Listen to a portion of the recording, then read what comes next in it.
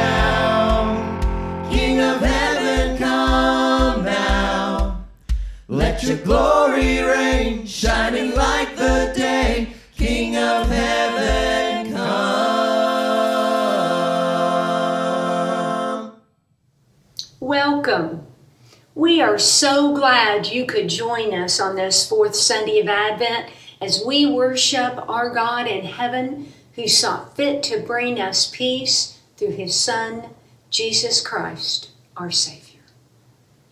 Suddenly, a great company of the heavenly host appeared with the angel, praising God and saying, Glory to God in the highest heaven, and on earth peace to those on whom his favor rests.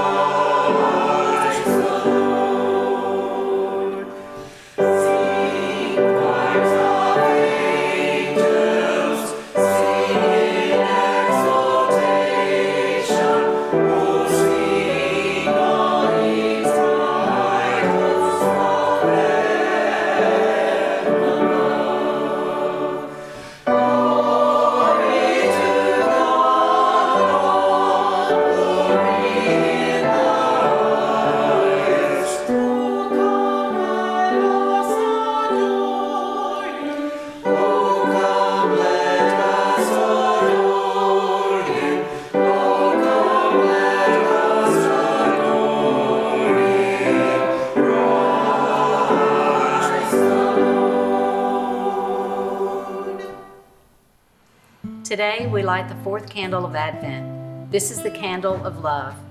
Jesus demonstrated self giving love in his ministry as the Good Shepherd. Advent is a time for kindness, thinking of others, and sharing with others. It is a time to love as God loved us by giving us his most precious gift. As God is love, let us also be love. In the book of Deuteronomy, we find these words For the Lord your God is God of gods and Lord of lords, the great God, mighty and awesome, who is not partial and takes no bribe, who executes justice for the orphan and the widow, and who loves the strangers, providing them food and clothing. You shall also love the stranger, for you were strangers in the land of Egypt. Let us pray. Teach us to love, O Lord. May we also remember to put you first as we follow Christ's footsteps, that we may know your love and show it in our lives. As we prepare for our celebration of Jesus' birth, fill our hearts also with love for the world, that all may know your love and the one whom you have sent. Amen. In this season of expectant waiting, we're invited to the table, right here, right now. Coming to the Lord's table is a way to experience the grace of God. This being so, it's open to all. The only requirement is a sincere heart. The only barriers are created in our own hearts. So we come to confess our sins to God because we all fall short of His plan of perfect love. We come to free our hearts and our minds so we may remove the barriers we build between ourselves, our God, and each other. And we come to receive, to receive all God has to give us. Let us prepare our hearts and minds now for Holy Communion.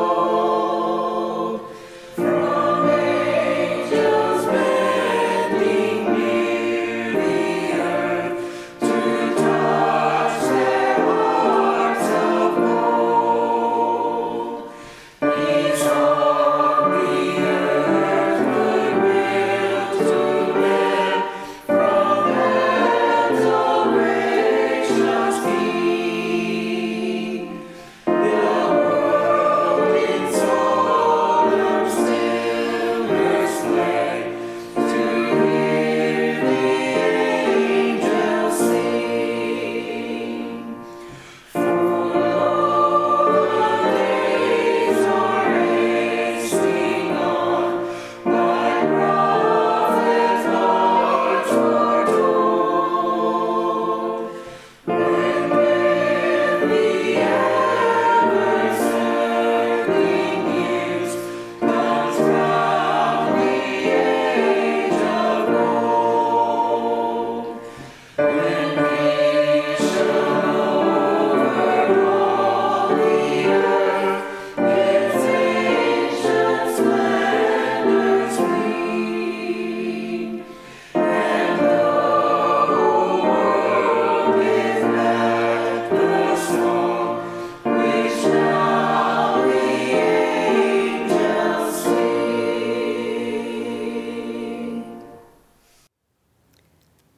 Let us pray.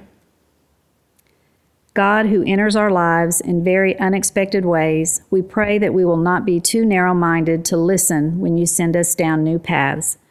We thank you for the example of Joseph, who shows us how to welcome you into our lives.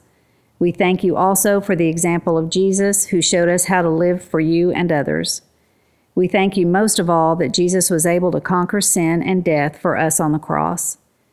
As we take this bread and cup, symbols of the sacrifice that gives us life, renew your spirit within us that we will carry that life with us into the world. In the name of Jesus Christ, our Lord and Savior. Amen. As Jesus gathered in the upper room with his disciples, as they reclined around the table at the meal, he took bread, he blessed it, broke it, gave it to them, and said, This is my body, which is for you. Take and eat in remembrance of me. And after the meal, he took the cup and he said, This is my blood of the covenant, poured out for the remission of sin. Whenever you drink it, remember me. And so each Lord's Day, as we eat of the bread and we drink of the cup, we proclaim the Lord's death until he comes. Amen.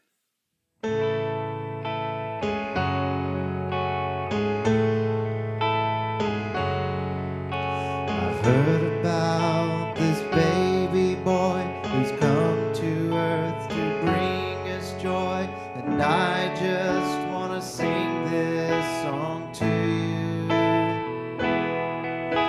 It goes like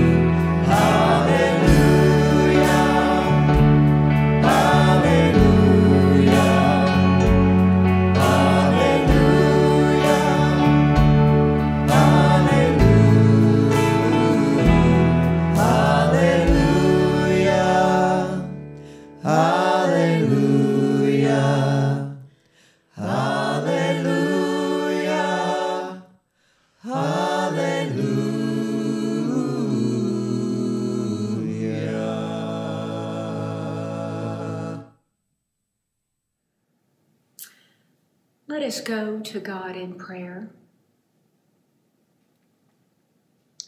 God of glory, we come before you grateful for your open arms and loving embrace. We lay at your feet our praises, our needs, and concerns. We humbly ask that you consider each one. Place your name upon them that it may be done for your glory and according to your will. Lord, in this time of preparation and reflection, we ask that we may give to you a small token in remembrance, honor, and gratitude for your Son, Jesus Christ. Because of his birth, life, and death, we are restored in your sight, and this brings us great peace. Holy God, may we be quick to serve you with our whole heart, like Mary. Like the wise men, may our eyes be open to your presence. May we follow where you lead, and may our offerings given from grateful hearts be worthy in your eyes. Through the Holy Spirit, help us to stand firm in your word and seek your will regardless of personal cost, just like Joseph. Lord, like the shepherds watching their flocks, hear our praise, feel our love, and equip us to protect and care for the sheep in your flock, for each is precious in your sight. Lord, let us be a blessing to you, like the baby in the manger. May others see the hope of your Son, Jesus Christ, in our words, our actions, and may we play a part in bringing them to you. We ask all of this, Lord, and as a congregation, we unite our voices together as we pray the prayer your Son taught us. Our Father, who art in heaven, hallowed be thy name. Thy kingdom come, thy will be done on earth as it is in heaven. Give us this day our daily bread, and forgive us our debts as we forgive our debtors. Lead us not into temptation, but deliver us from evil. For thine is the kingdom, and the power, and the glory forever. Amen.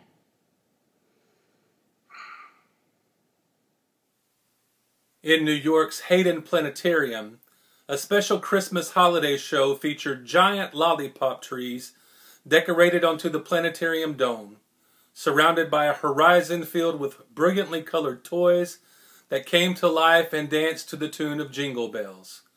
At the finale, a huge figure of Santa Claus faded in a snowstorm, and the Star of Bethlehem broke through onto a reproduction of the Palestinian sky.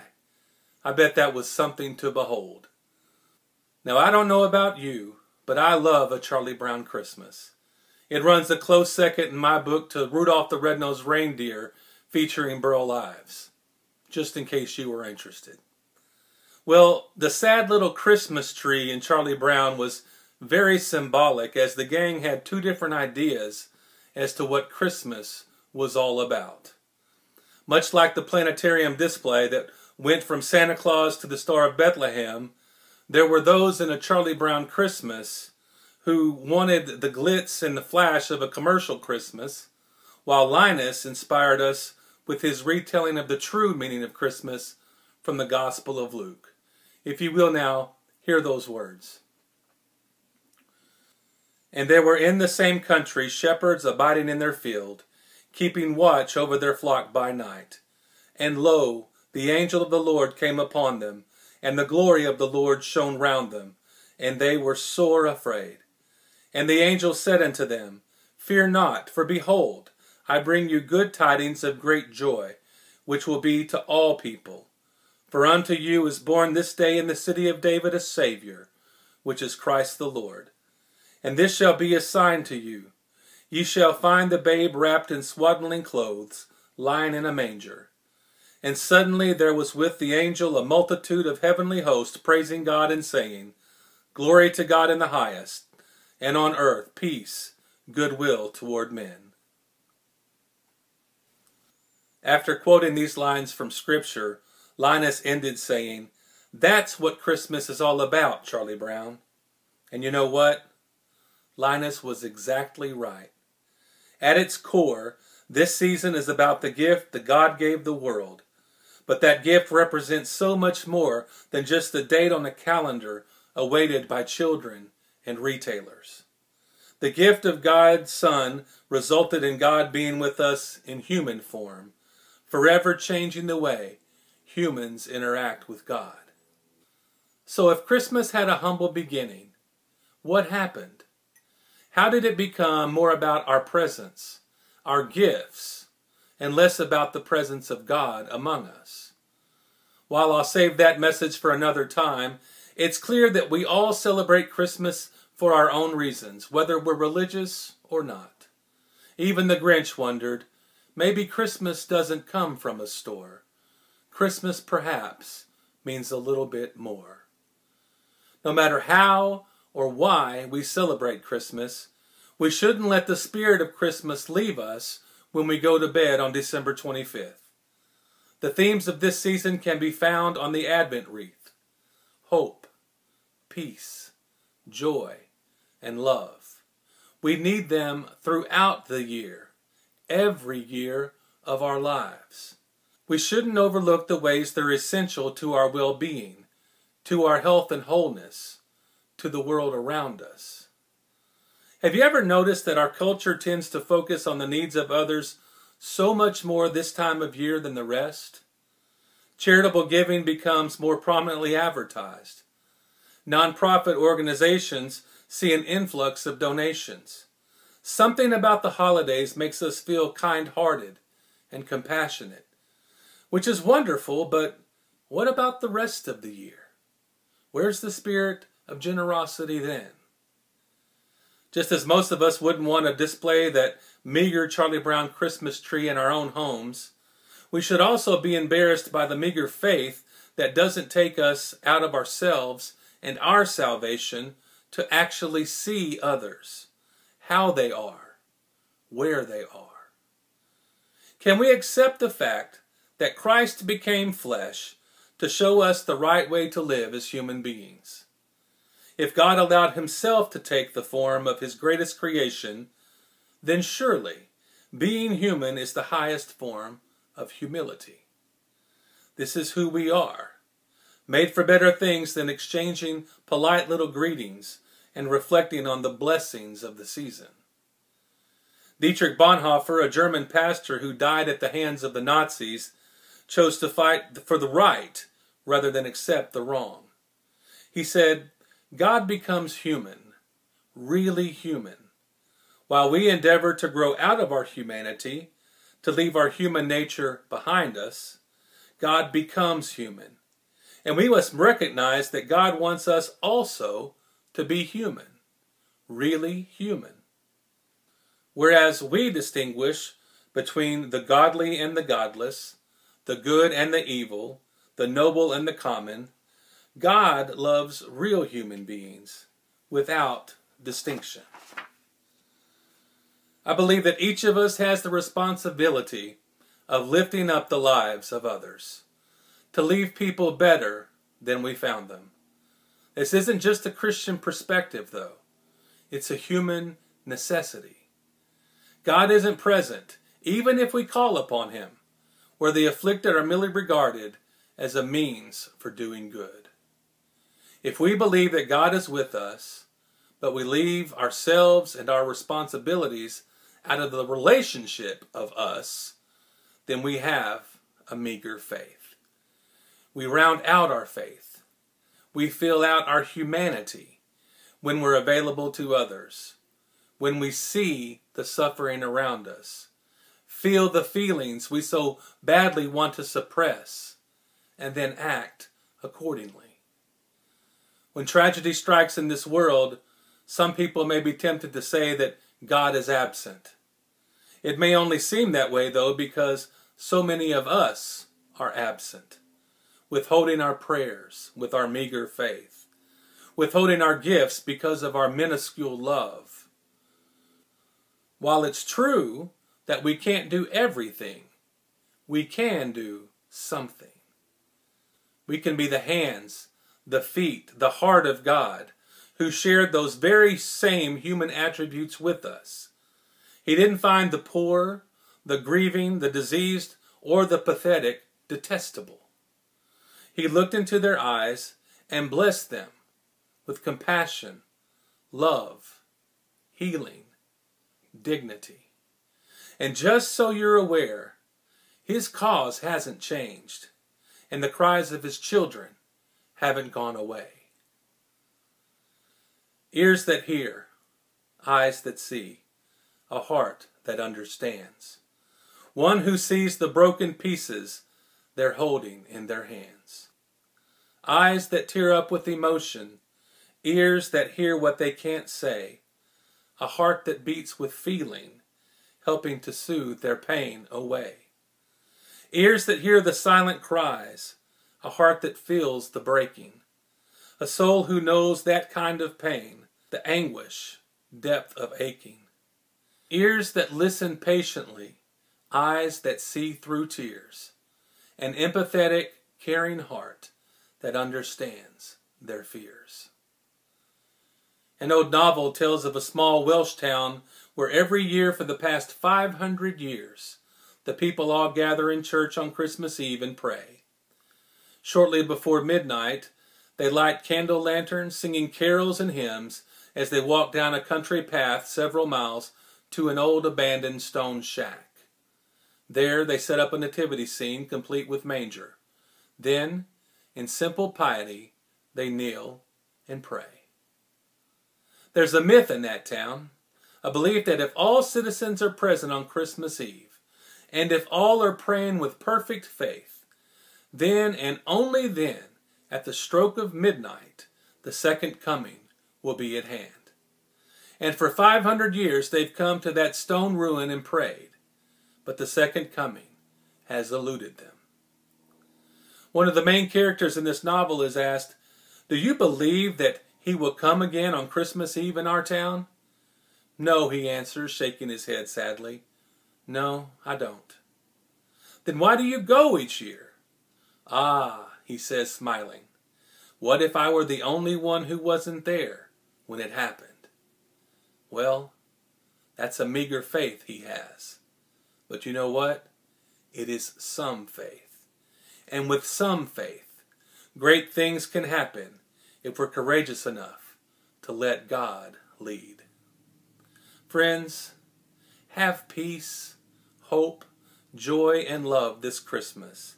And not only for yourself and those closest to you, but desire the same for every person on this earth.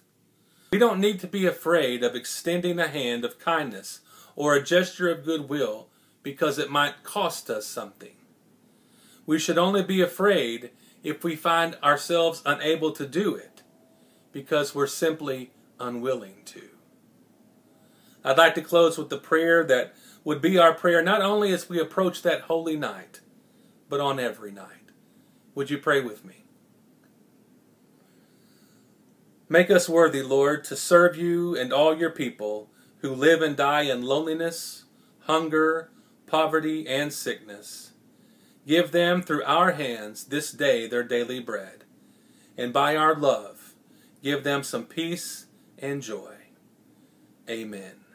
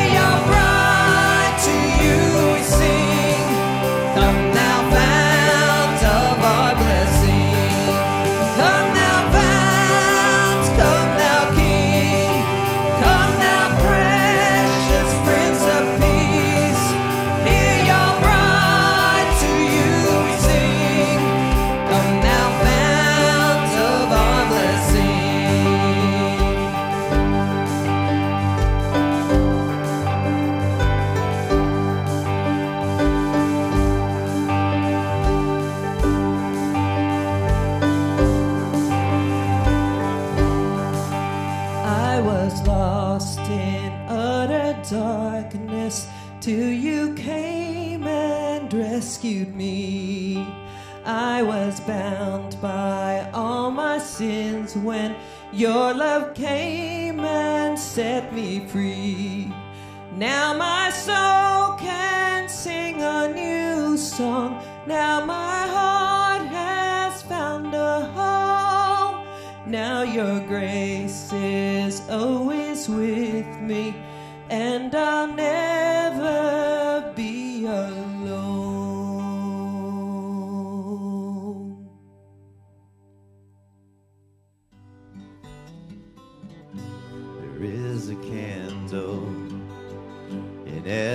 soul, some brightly burning, some dark and cold. There is a spirit that brings a fire, ignites a candle, and makes his home. So carry your candle and run to the darkness. Seek out the hopeless, the